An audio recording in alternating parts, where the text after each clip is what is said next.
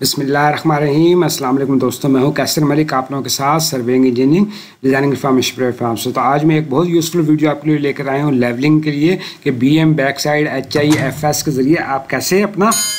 B M और NGL के levels वगैरह पढ़ सकते हैं क्या मेथड होता है तो सबसे पहले आपने लेवल एडजस्ट कर लेना है इधर आपके पास कोई बीएम मौजूद होएगा परमानेंट बीएम होएगा उसके ऊपर आपने स्टाफ रखना है। और जो स्टाफ रख के जो आप रीडिंग पढ़ेंगे वो आपकी बैक साइड कहलाएगी बी की वैल्यू हंड्रेड है और बैक साइड है three point four five six तो आपके पास B M plus back sight H I आ जाएगी। बी एम हमारे पास बेंच मार्क है बैक साइड बी एस हमारे पास बैक साइड है और एच आई हमारे पास हाइट ऑफ़ इंस्ट्रूमेंट है। तो आपने बी एम की वैल्यू को इधर लिख देना है प्लस का साइन लगाना है। और साथ ये जो बैक साइड आपने पढ़ी होगी बी एम के ऊपर जो पढ़ी जाती है, वो बैक साइड कहलाती है, वो आपने प्लस कर देनी है और इज़ इक्वल टू करेंगे तो आपके पास hundred plus three point four five six के हिसाब से आपके पास प्लस करेंगे तो आपका एच आई आ जाएगी one zero three point four five six तो ये एच आई जो होगी आपकी ये हाइट ऑफ़ इंस्ट्रूमेंट होगी या एच आई इधर मैंने इस साइड के ऊपर लिखी हुई है तो ये हमारे पास इधर एच आई आ जाएगी। इसके बाद कोई आपने एन एस एल पढ़ने कोई आपने एन जी एल पढ़ने कोई रिड्यूस लेवल्स वगैरह जो भी आपने पढ़ने वो आपने इस एच आई के साथ पढ़ने अपने स्टाफ को, अपने इस पॉइंट के ऊपर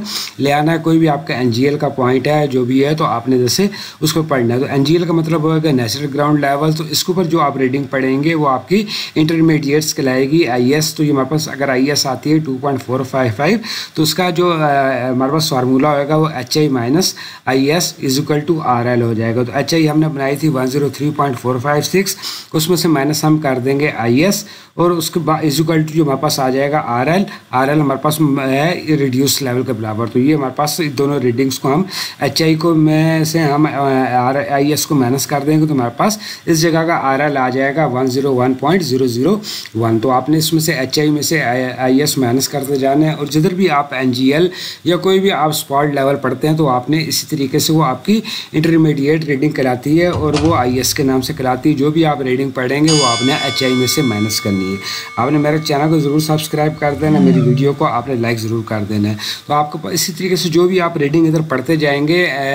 एच आई में से उसको आपने माइनस करते जाना तो आपका एन जी एल के ऊपर जो रेडियस आर एल होएगा रेडियस लेवल वो आपका आ जाएगा। इसी तरीके से अगर आप कोई बी एम शिफ्ट करना चाहते हैं टी बी एम के ज़रिए आपके पास परमानेंट बी एम है, उसको आप जब शिफ्ट करेंगे तो ये आपका T B M temporary benchmark कहलाएगा, इसका कोई भी आप नाम दे सकते हैं। इसका भी फार्मूला वही है B M plus back sight is equal to H I आ जाएगी, उसमें से माइनस आपने फोर साइड करना है तो टी बी एम टू की वैल्यू आ जाएगी। तो बीएम की वैल्यू आपने सबसे पहले इधर लिख देनी है, उसके बाद प्लस कर देना बैक साइड जो आपने पढ़ी है। Three point four five six instrument आप रखेंगे तो ये बैक साइड अब आपकी आ जाएगी, उसके अंदर प्लस होकर इजिकल टू हमारे पास हाइट ऑफ़ इंस्ट्रूमेंट आ जाएगी H I hundred plus three point four five six करेंगे तो हमारे पास one zero three point four five six ये हमारे पास इंस्ट्रूमेंट की हाइट आ जाएगी। उसके बाद आपने जो भी बीएम के ऊपर रीडिंग पढ़ते हैं, वो हमारी फोर साइड कराती है। एफएस रीडिंग होती है, नीचे आपको डिस्क्रिप्शन लिखा हुआ आ रहा है फोर साइड वो रीडिंग होती है। आपने जिधर भी बी एम शिफ्ट करना है, अपना बीएम से टी बी एम शिफ्ट करना है तो वो आपने